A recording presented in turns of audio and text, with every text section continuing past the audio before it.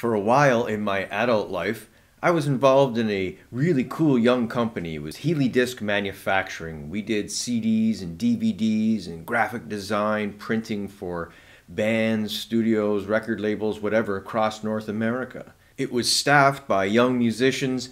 We were all friends. It was a great time. And I'll tell you what, it gave me more than a few stories to tell.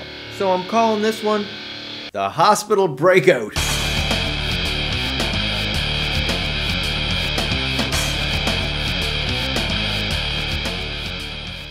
Healy Disc became a really solid company quickly. It was at the very beginning of the CD manufacturing boom for everybody.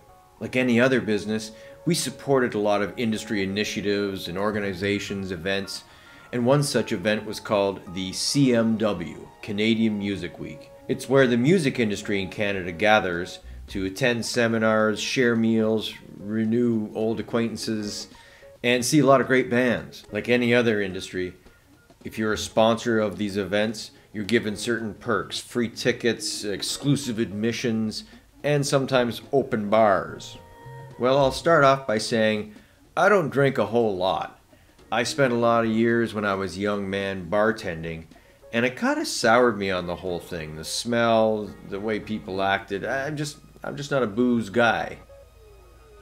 But even I can go overboard once in a while. Well, this year at the CMW, one of our perks was to be offered free draft beer at any participating bar. Well, I don't have to tell you how bad of an idea that might be. So we were able to walk the streets, go see any band we want, have half a beer, leave. Who cares? We're not spending a cent. It's wonderful. There was a contingent of about 10 of us from Healy Disc, ranging from the shipping guy to receptionist to sales guys and management. It was supposed to be a really great retreat, get some ideas going, and apparently I needed to give everyone something to remember. This particular night saw the most bands playing at the most bars, and we took full advantage. Eventually, we all got separated by booze, by distance, and by musical taste and we were individually now staggering around Toronto's downtown core entertaining ourselves. Well, I had too much too soon, and by midnight, I had to go back to the hotel and basically pass out. My roommate was already in the room, sleeping. I arrive, and within five minutes, I realize, Yeah, this is coming back out. so I get up and I run to the bathroom. I open my eyes to take in a weird scene. Our hotel room was crowded with emergency personnel like paramedics, firefighters, policemen. There's probably an undertaker in there somewhere. Apparently, I had rounded the corner to the bathroom, slipped, cranked my head off the marble counter, and the lights went out all over the world.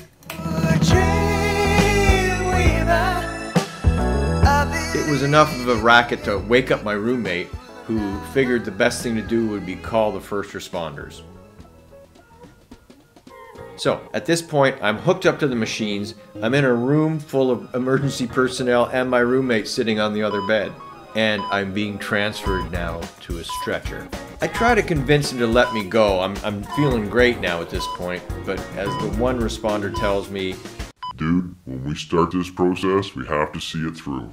What are you gonna do? Now, as luck would have it, as I'm being wheeled down the hotel corridor, all of my friends are arriving back from their wonderful night out in the town. And they see me coming out, hooked up to machines, being escorted by about five or six emergency personnel. I try to act cool, but like nothing's going wrong.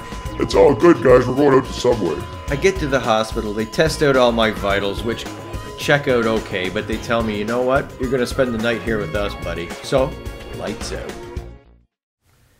In the morning, I open my eyes, and I have no idea where I am, what's going on, what the hell, how am I here? I do hear grunting and groaning and complaining and arguing coming from around me, which, after the fact, I found out this was where I guess all the alcoholics and homeless people are shuffled to at night when they need attendance. Where I am. So, so, so, so, I slowly start peeling off all the hospital gear. connections, the beat machines, the whatever. I get up, I get out of my little onesie, I get my clothes on, and I tiptoe out of the hospital.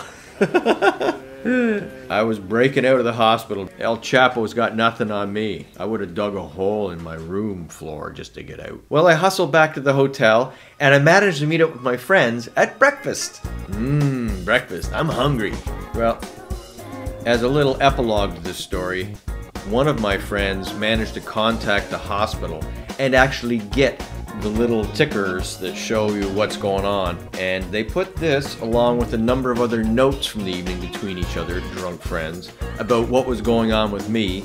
And they presented it to me at a wonderful company event. And it's something that my wife has cherished for years. And I managed to pull out of the garbage. And uh, here, take a look. Well, if you like these stories, why don't you become a subscriber? I've got many more to go. Don't drink too much.